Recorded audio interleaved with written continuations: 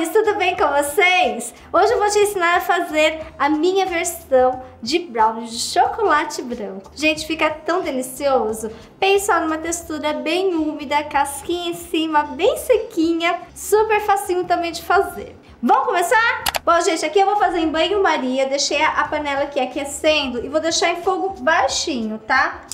Vou acrescentar aqui o chocolate branco, tem que ser chocolate nobre, tá? Para ficar mais gostoso. Junto com o chocolate aqui, eu vou colocar a manteiga, manteiga sem sal. E a gente vai derreter esses dois ingredientes aqui. Vai misturando assim para fazer a troca de calor e derreter mais rápido. Ó, aqui já tá prontinho, já derreteu o chocolate e a manteiga. Agora eu vou retirar aqui da panela do banho-maria Bom, gente, aqui então, ó, eu, vou, eu esperei um pouquinho, dar uma mornada, tá? Não pode fazer com ele muito quente. E vou colocar o açúcar. Aqui eu estou usando o açúcar refinado e mistura.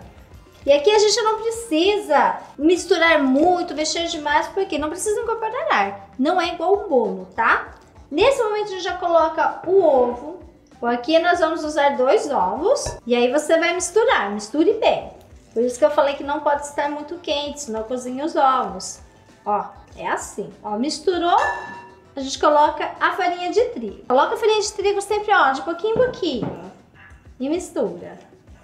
Ó, sumiu a farinha, coloca mais.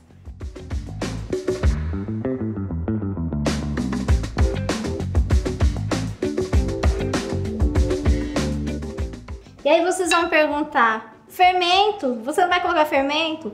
Não, brownie a gente não coloca fermento, porque é uma massa mais densa mesmo.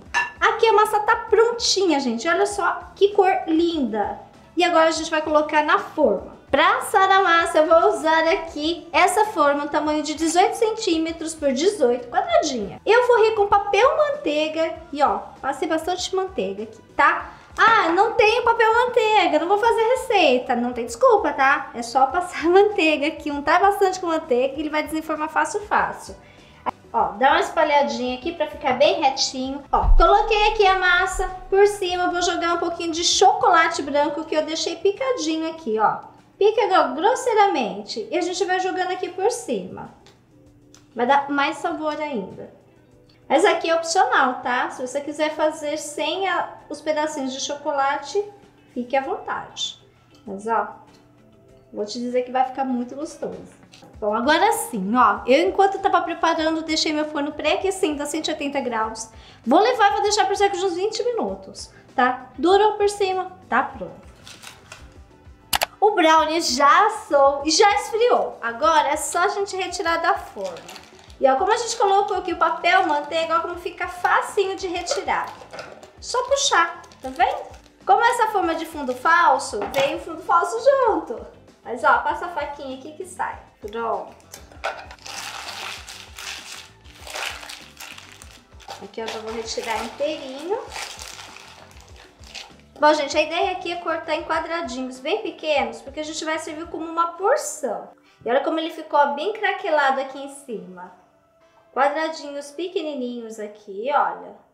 Olha só a cremosidade, ó, por dentro fica bem úmido e por cima, ó, craqueladinho. E as gotinhas de chocolate, os pedacinhos de chocolate que a gente colocou aqui, ó, no meio, vai dar um toque bem especial. Agora que a gente cortou em quadradinhos, eu vou fazer uma decoração em cima. Aí fica a gosto. Você pode tanto servir assim, ó, quadradinhos, ou fazer desse jeito. Bom, coloquei aqui, ó, na manga de confeitar, Moça de colher.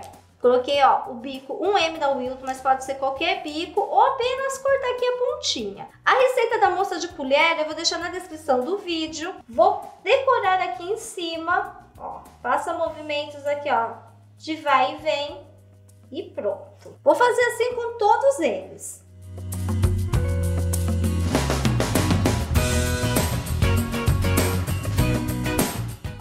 Cima, a gente vai colocar confeitos ó, na cor branca e a gente vai jogando aqui por cima. Olha que efeito bonito!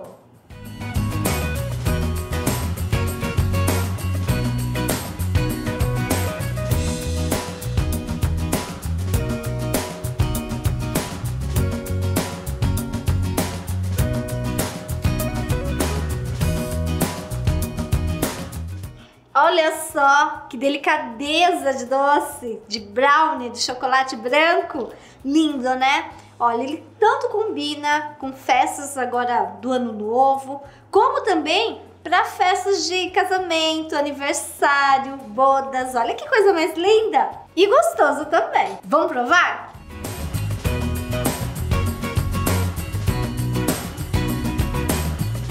Gente, irresistível. Olha só como fica. Ele fica super cremoso, com a cobertura aqui, ó, de moça de colher. Gente, fez assim aquela combinação de texturas, de sabor. Gente, essa foi a minha sugestão de hoje. E aí, curtiu? Se inspirou também? Pode fazer e espere elogios, vai ter muitos. Aquele, ó, beijo super especial no coração. A gente se vê logo no próximo vídeo. Tchau!